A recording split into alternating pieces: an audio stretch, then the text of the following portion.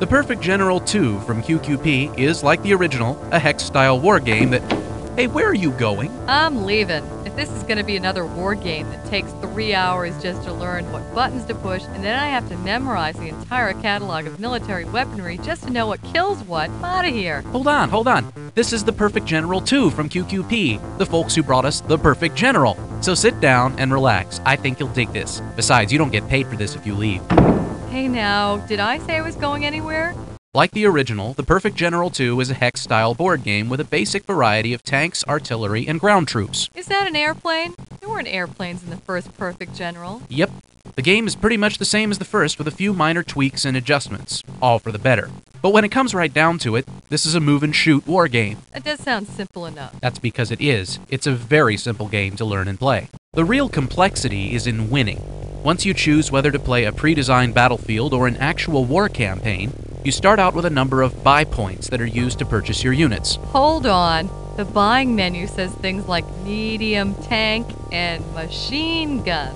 You mean there's not things like a Q 945678892 tank and a P 86784 style machine gun they have to learn about before you know if you want to buy it? Not at all. The Perfect General 2 calls a tank a tank and a plane a plane.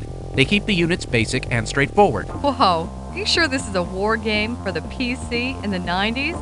It's too much like a real game. Once you buy your weapons, mines, and fortifications, you set your forces up however you want in the areas that you control. So I actually get to choose my own weaponry and place it wherever I want instead of the computer setting up everything for me? I feel so grown up all of a sudden. The graphics are well done, and your pieces are animated as they move from hex to hex. But if you don't like the animations, you can just turn them off. You can even set the delay time for moving from hex to hex. Now that I think about it, you get to decide just about every aspect about how this game plays. I'll be darned. From choosing how fast the computer plays to how fast your forces move, it's all customizable. But wait, I feel as though. Yes, yes, I sense something's wrong. I, I feel a disturbance in the force. Oh, young Jedi, if one wishes to be nitpicky about these things. Please, nitpick master. I love it when you pick nit. When you're moving your units, each has a certain amount of fuel for the turn. The different types of terrain take a certain amount of fuel to travel over, which means the range is different depending on the terrain. Most every hex style game is like that. Yes, but when you choose the unit you want to move, there are no immediate range finders. You can right click on the mouse to see how much fuel any destination requires, but there's no way to see all of the options at once. Well, at least they've added the ability to find the range with the click of a button. Like I said, it's a small thing wanting to see where I can and can't move at a glance, but it would have been nice. Firing is the same deal. When you choose your unit to fire, there is no indication of all the enemy units that are in range, except for the artillery, which does show you what units are in range, but artillery's it. Oh boy, so you go around clicking on all of the enemy units that you suppose are in range just to see whether you can fire at them or not. The game lets you cycle through all the available targets with the spacebar, but again, it would have been nice to see all of the available targets at once.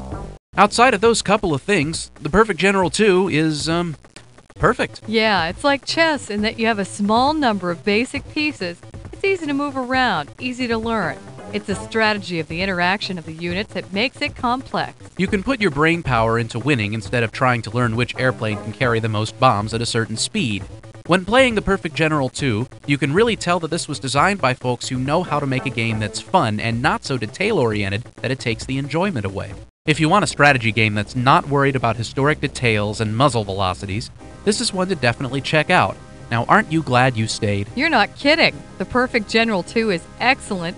I'm keeping it on my hard drive for a while. But one more thing I still get paid for this, right?